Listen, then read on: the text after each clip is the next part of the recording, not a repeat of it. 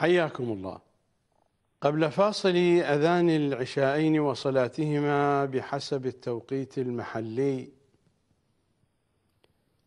لمدينة لندن كنت قد قرأت عليكم ما جاء من رواية في مستدرك الوسائل للمحدث النوري ومن أن سؤالا يدور حولها فيما يرتبط في أن دعاءنا يكون نافعا لمحمد وآل محمد صلوات الله عليهم ومن أن نقصا عندهم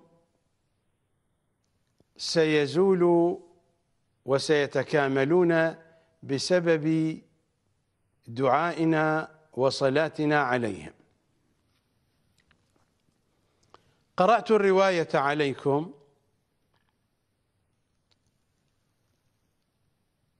الرواية نقلها المحدث النوري.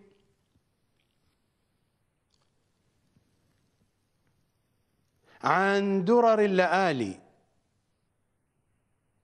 لابن أبي جمهور الإحسائي. ونقل رواية أخرى. إنه الحديث الحادي عشر. عن النبي صلى الله عليه وآله إذا سمعتم المؤذن فقولوا كما يقول. ولذلك تسمى بحكاية الأذان. إذا سمعتم المؤذن فقولوا كما يقول ثم صلوا علي. فمن صلى علي صلاة صلى الله عليه بها عشرا. ثم سلوا لي الوسيلة. فإنها منزلة في الجنة. لا تنبغي أن تكون إلا لعبد من عباد الله وأنا أرجو أن أكون أنا هو. فالنبي ليس متأكدا من أن الوسيلة ستكون له ولذا هو يطلب منا أن ندعو له بأن تكون الوسيلة له وهو يرجو أن يتحقق هذا الأمر. ثم سلوا لي الوسيلة فإنها منزلة في الجنة لا تنبغي أن تكون إلا لعبد من عباد الله. وأنا أرجو أن أكون أنا هو. فمن سأل لي الوسيلة حلت له الشفاعة. هذه المضامين موجودة أساسا في كتب المخالفين وموجودة في كتبنا أيضا. لهذا السبب لم أجعل جوابي مختصا بالرواية التي ورد السؤال بخصوصها. إنني مثلما قلت لكم قبل الفاصل سأفتح الموضوع على مصارعه كي تكون الفائدة أكثر. هذا مستدرك الوسائل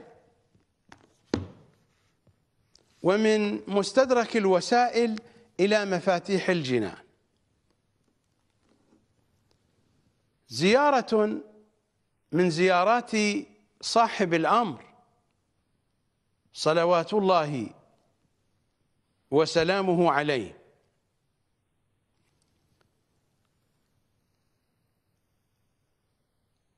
ماذا نقرأ فيها؟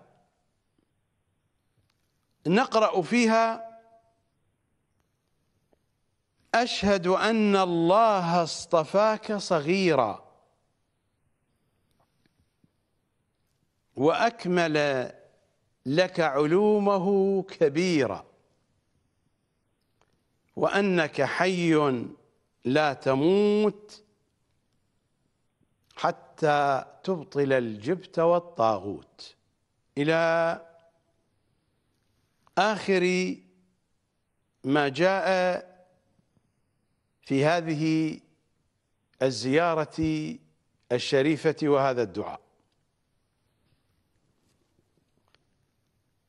أشهد أن الله اصطفاك صغيرا.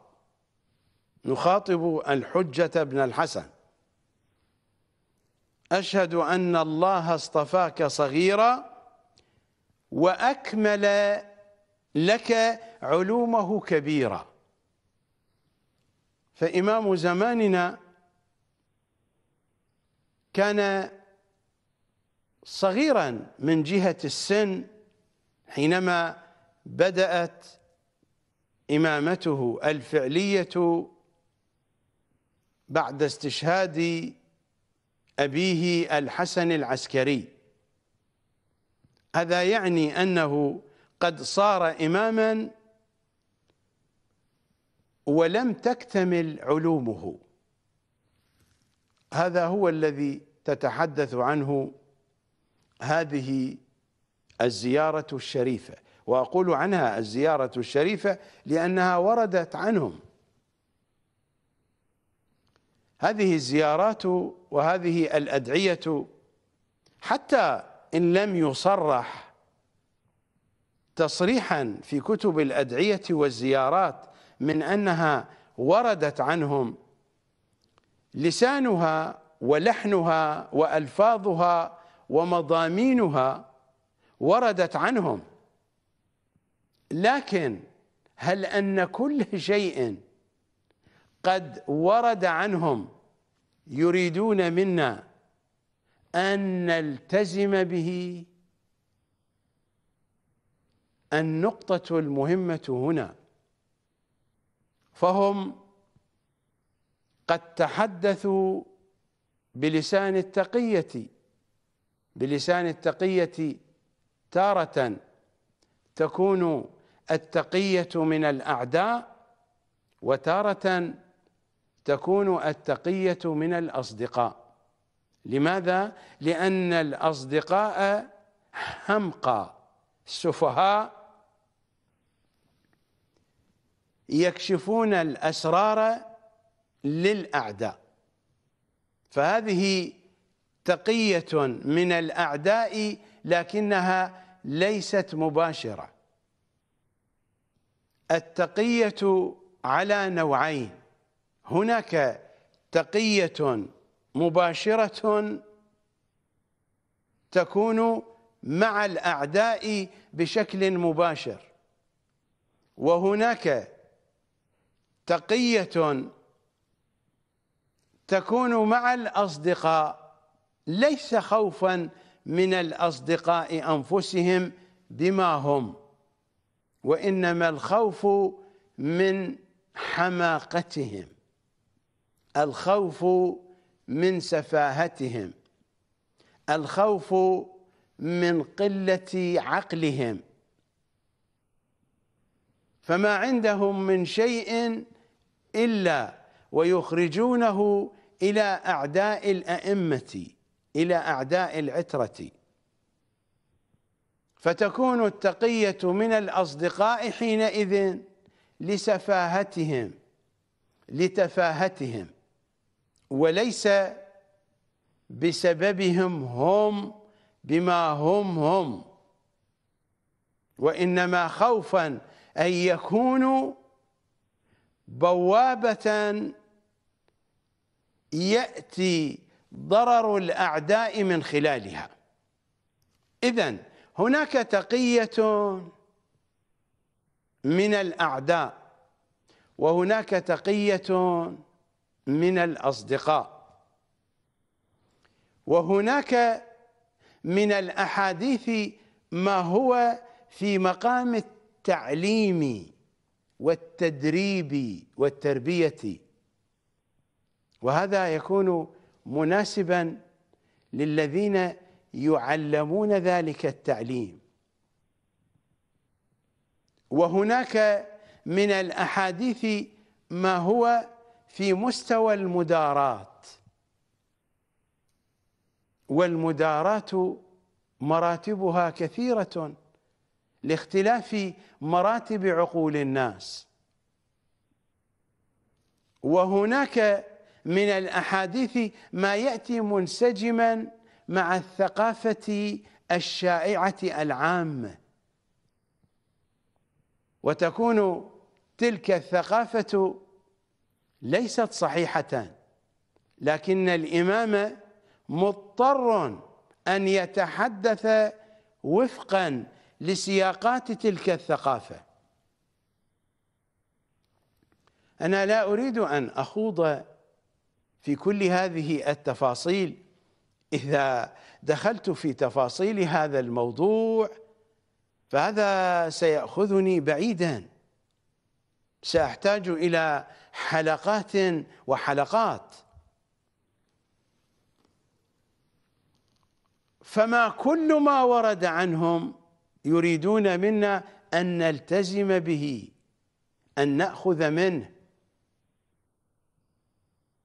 أو أن نأخذ به. لذا فإنهم قد وضعوا لنا قواعد التفهيم. ووضعوا لنا قواعد المعاريض كي نميز بين ما يريدون وبين ما لا يريدون حتى وإن كان صادرا منهم صلوات الله عليهم.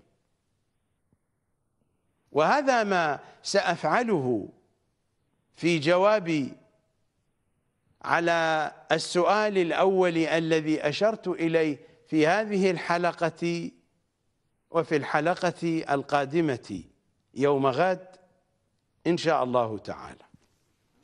أعود إلى زيارة صاحب الأمر. التي أقرأها عليكم من مفاتيح الجنان.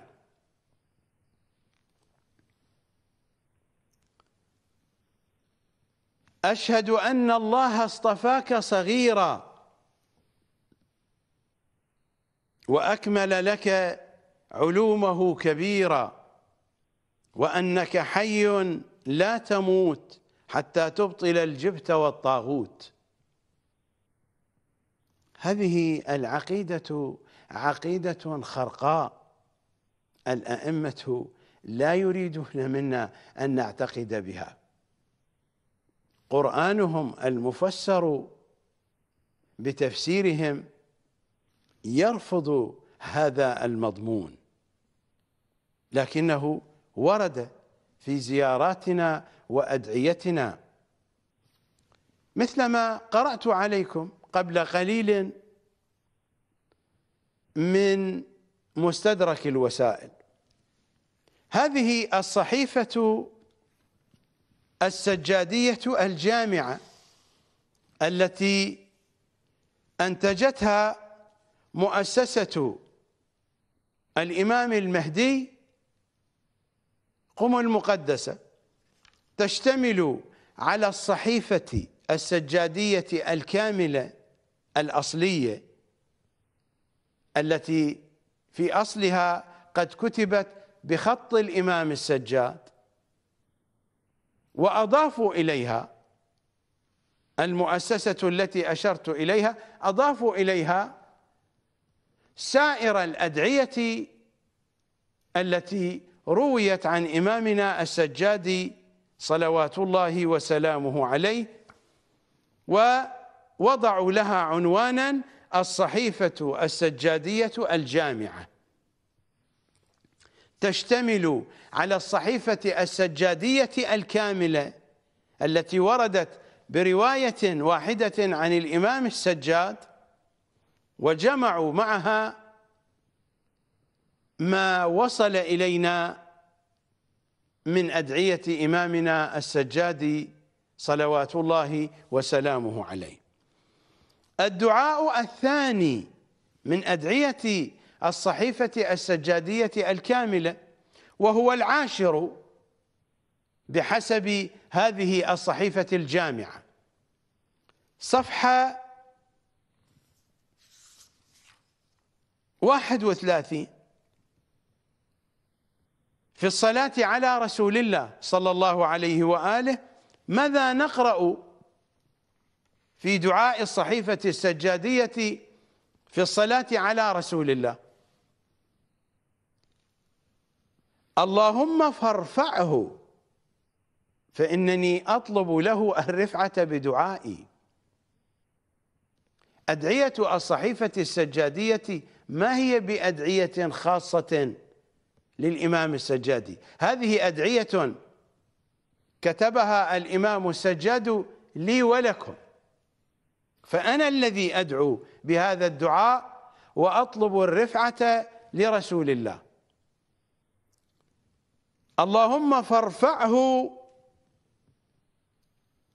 بما كدح فيك إلى الدرجة العليا من جنتك حتى لا يساوى في منزلة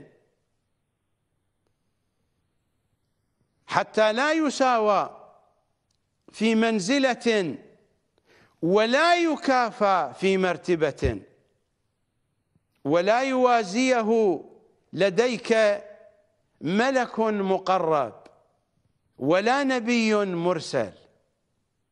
أي دعاء هذا؟ لا يوازيه لديك ملك مقرب ولا نبي مرسل.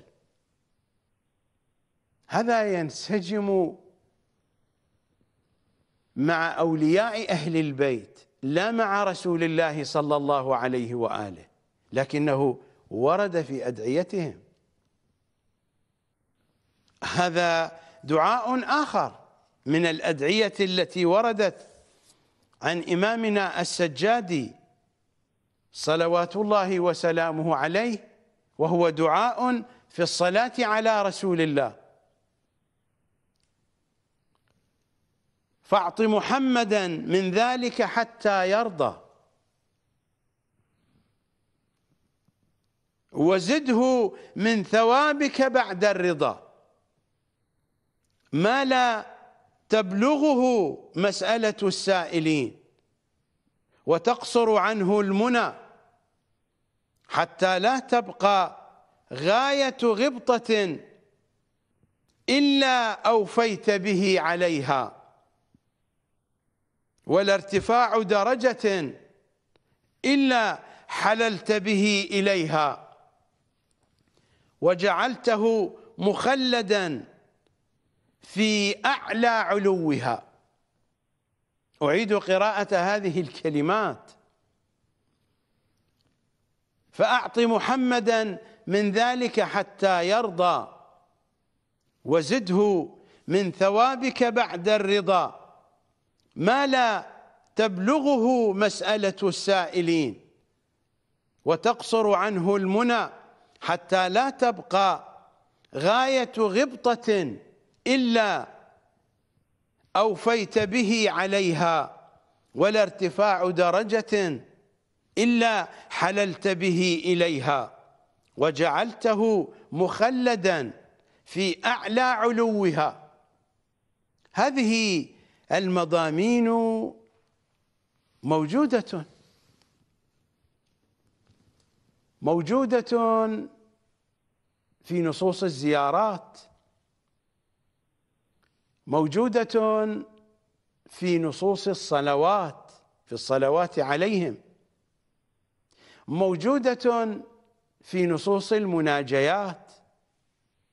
هناك مناجيات فيما بيننا وبين الله وهناك مناجيات فيما بيننا وبينهم صلوات الله عليهم. هناك نصوص بهذا المضمون وهناك نصوص بالمضمون الثاني. ففي الزيارات والصلوات والمناجيات بصنفيها وفي الأدعية وفي الروايات والأحاديث وفي الإجابة على أسئلة السائلين توجد هذه المضامين وقد صدرت عنهم. أنا لا أنكرها لا أنكر صدورها. صدرت عنهم ووردت عنهم صلوات الله عليهم. لكنني مثلما قلت لكم محمد وآل محمد يتكلمون بعدة ألسنة. لسان تقية لسان تعليم وتربية وتدريب لسان مداراة لسان ينسجم مع الثقافة الشائعة لسان ولسان ولسان. من هنا من هنا من هنا ألجؤونا إلى قانون المعاريض. من هنا بينوا لنا من أن الفقيه من فقهائهم من فقهاء العترة. لن يكون فقيها حتى يعرف معاريض كلامهم. هذا هو السر في معاريض كلامهم. جعلوا لهم معاريض حينما يتكلمون. المعاريض الأسلوب الخاص بحديث أي متحدث بإمكان أي متحدث أن يختار له أسلوب معارض في حديثه. فالأئمة اختاروا لهم أسلوب معاريض وألجؤونا أن نتعلمه وأن نطبقه على أقوالهم وكلامهم كي نستطيع أن نفهم ما يريدون. منهج حوزة الطوسي منهج هو أبعد ما يكون عن معاريض كلامهم صلوات الله وسلامه عليهم. لذا هو منهج متخبط. هذا التخبط في منهج حوزة الطوسي ما بين العقيدة والفتاوى والتفسير سببه هو هذا. أنا أسألكم شيء بديهي في أذهان الشيعة من أن ولاية علي هي الأساس.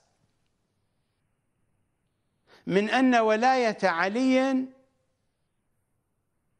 هي سبب النجاة في الآخرة وهي سبب الهداية في الدنيا.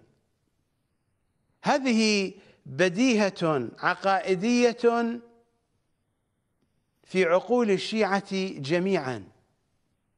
ثقافة متوارثة عبر الأجيال. وإذا أردنا أن نبحث في النصوص فإن كل النصوص في قرآنهم المفسر بتفسيرهم وفي أحاديثهم الشريفة التي تفهم بقواعد تفهيمهم النصوص تجمع على هذه الحقيقة.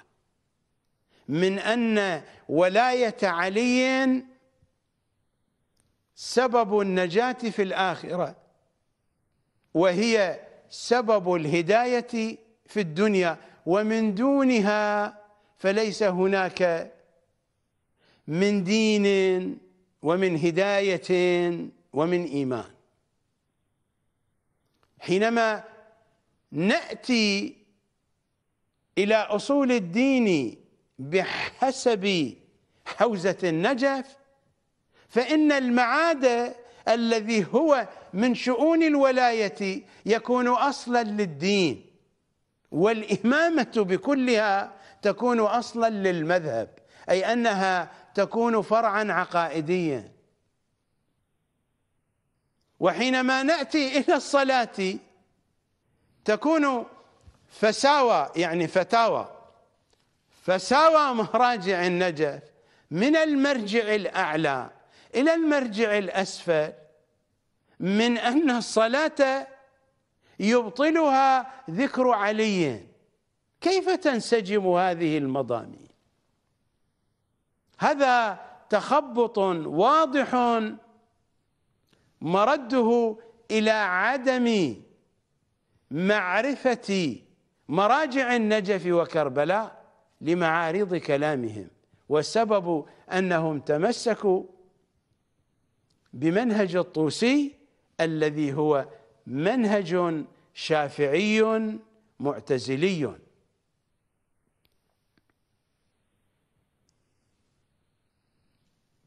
أخذ لكم مثالا آخر. هذا هو الكافي الشريف. الجزء الأول. إنها طبعة دار الأسوة طهران إيران.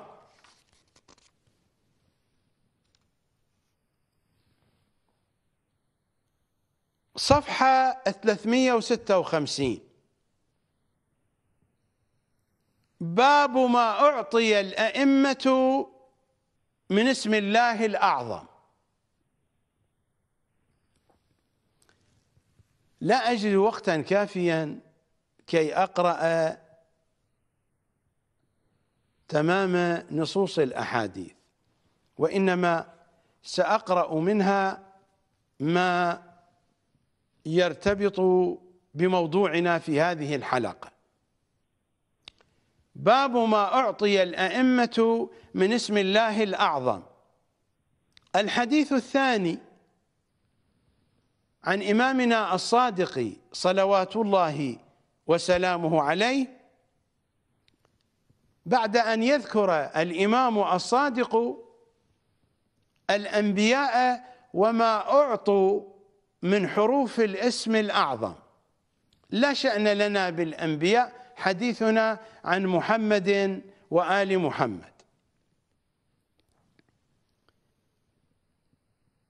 وإن اسم الله الأعظم ثلاثة وسبعون حرفا.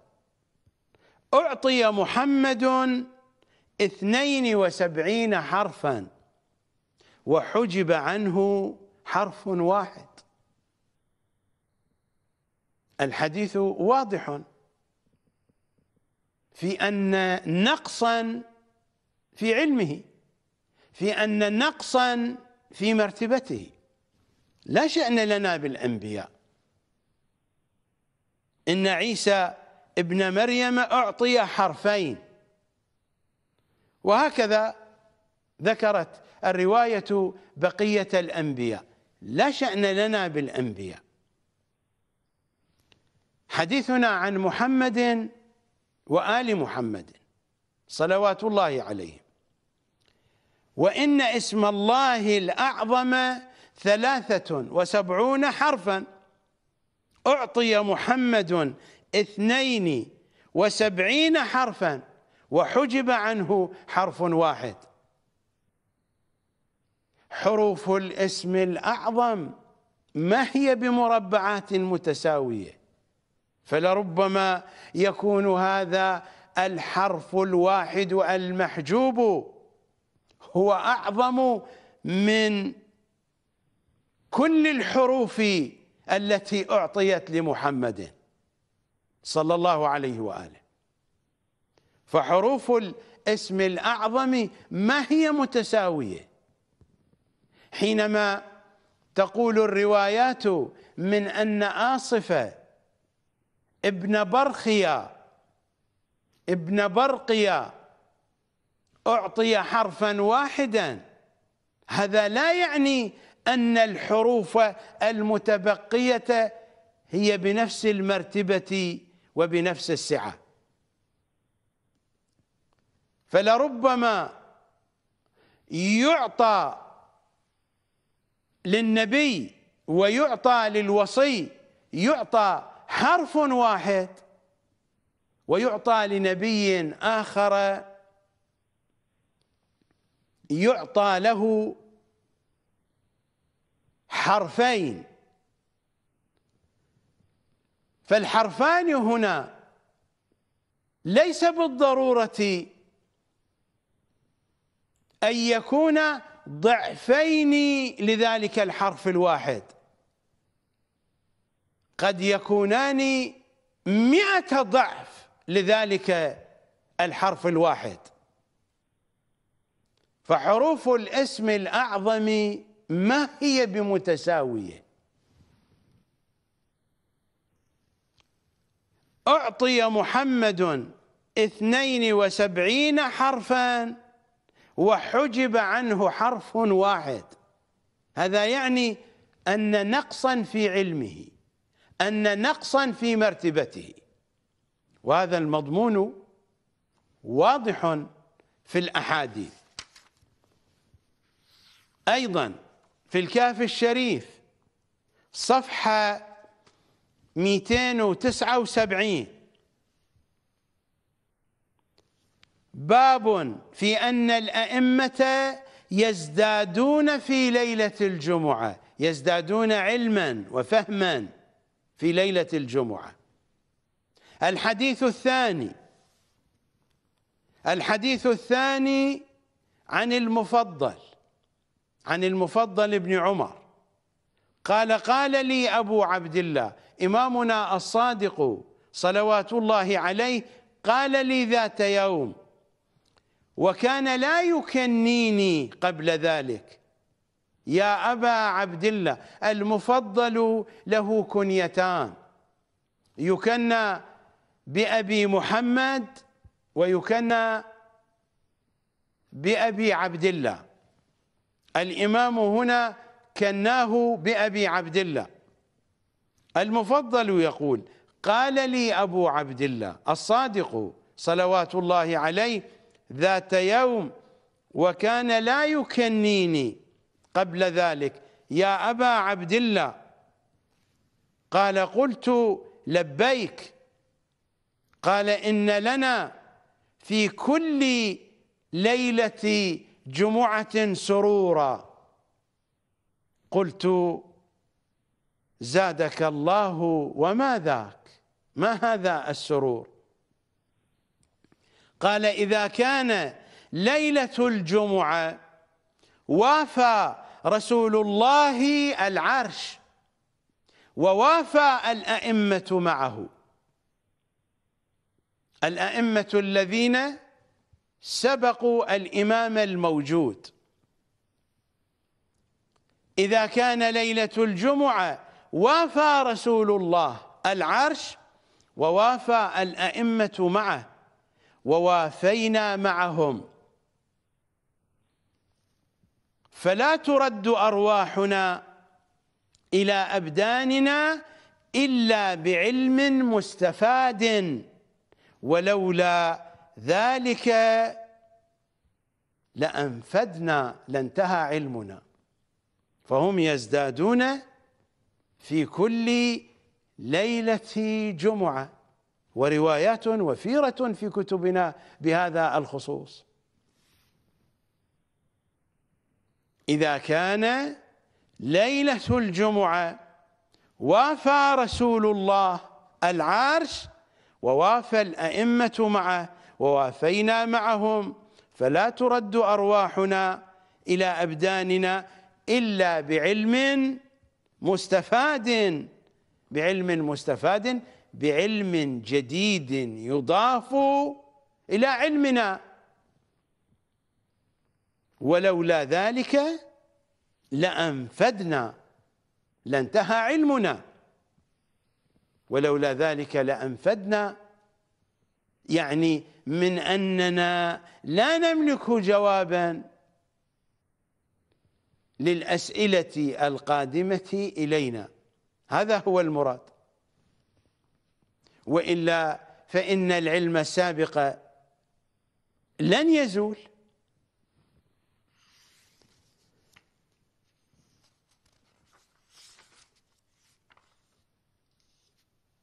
باب آخر. صفحة 280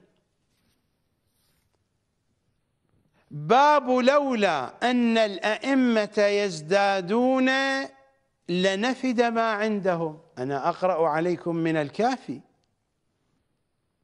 الحديث الأول بسنده عن صفوان بن يحيى.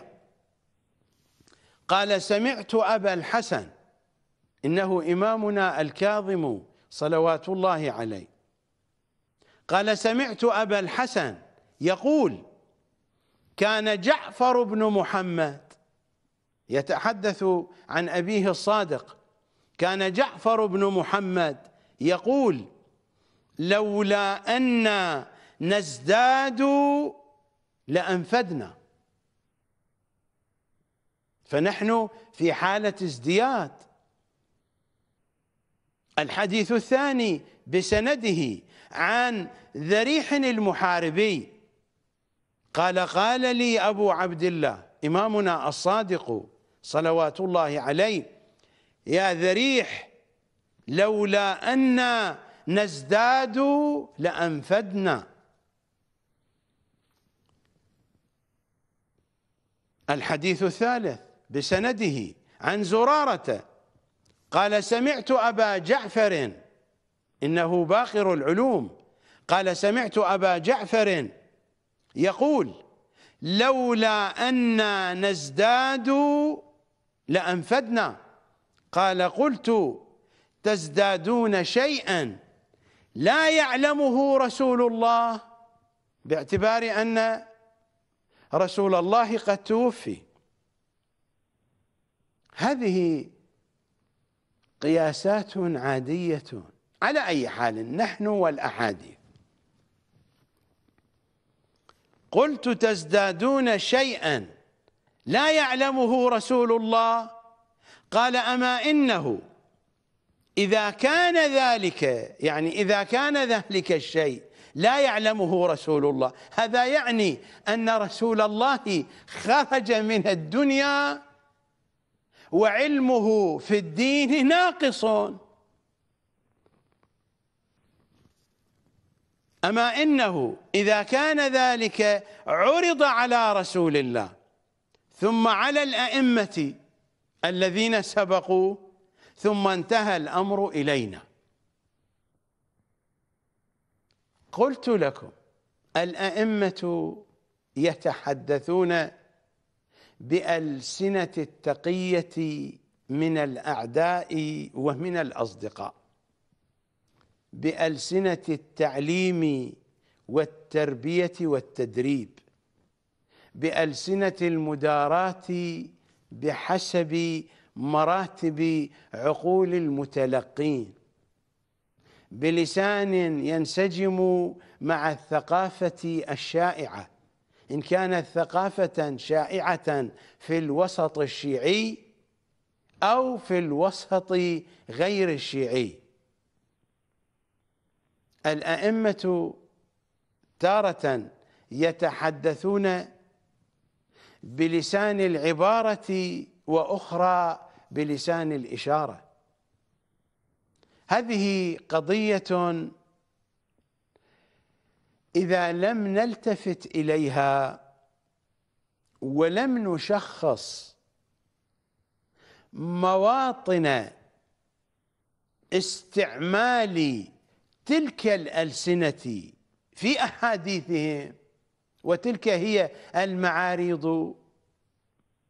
فإننا سنخبط خبط عشواء إن كان ذلك في العقائد أو كان ذلك في التفسير أو كان ذلك في الفتيا أو كان ذلك في شتى صنوف معارفهم وثقافتهم صلوات الله وسلامه عليهم أجمعين. عرضت بين أيديكم نماذج من أدعية من زيارات من روايات ومثل هذا كثير كثير جدا. نذهب إلى فاصل.